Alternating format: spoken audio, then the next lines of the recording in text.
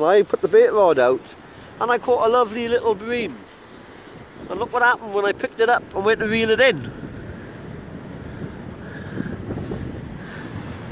Something big out there, Will.